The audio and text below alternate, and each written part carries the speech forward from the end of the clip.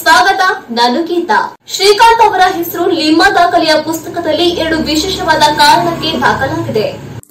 ಶ್ರೀಕಾಂತ್ ಅವರ ತಂದೆ ಒಬ್ಬ ಶ್ರೀಮಂತ ರೈತರಾಗಿದ್ದರು. ಮಗನಿಗೆ ಬಾಲ್ಯದಿಂದಲೂ ತೀವ್ರವಾದ ಓದುವ ಆಸಕ್ತಿ.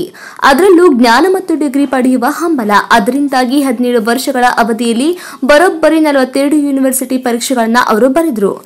ಕೆಲವೊಮ್ಮೆ ವರ್ಷಕ್ಕೆ ಎರಡು, ಮೂರು ಪರೀಕ್ಷೆ ಬರೆದರೆ ಬೇಸಿಗೆಯಲ್ಲಿ ಒಂದು ಪರೀಕ್ಷೆ ಬರೆದರೆ ಚಳಿಗಾಲಕ್ಕೆ ಮತ್ತೊಂದು ಪರೀಕ್ಷೆ ಬರೆಯುತ್ತಿದ್ದರು ಬರೆದು ಮುಗಿಸಿದ್ದು ಬರೋಬ್ಬರಿ ಇಪ್ಪತ್ತು ಪದವಿಗಳನ್ನ ಅದರಲ್ಲಿ ಹೆಚ್ಚಿನವು ಸ್ನಾತಕೋತ್ತರ ಪದವಿಗಳು. ಅವೆಲ್ಲವನ್ನು ಅವರು ಪ್ರಥಮ ದರ್ಜೆಯಲ್ಲಿ ಉತ್ತೀರ್ಣರಾದರು. ಅವರಿಗೆ ಹತ್ತಾರು ಚಿನ್ನದ ಪದಕಗಳು ದೊರೆತವು.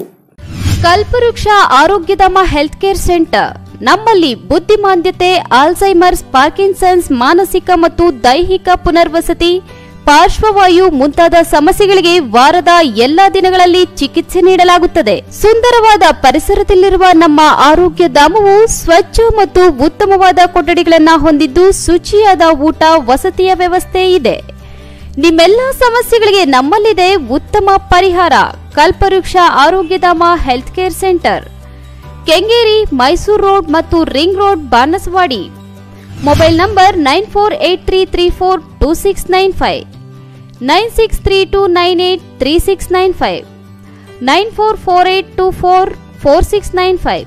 Another number nine four eight two three zero two six nine five.